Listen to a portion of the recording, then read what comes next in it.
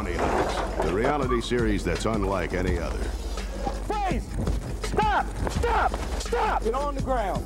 On the ground. Uh-huh. They're the stuff that legends are made of, a part of American history for more than 120 years. Law enforcement, open the door. We're gonna kick it in. More powerful than cops, their job is to bring in fugitives from the law who fail to face the judge. walk up or you run into your defendant and you first make visual contact with the individual.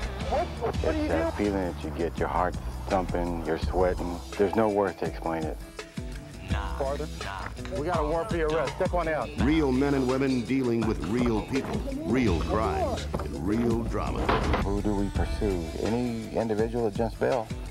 Once they've been uh, bailed out, they have chosen the bondsman is the jailer of their choice. And once they break that contract, we go out, find them, bring them back in.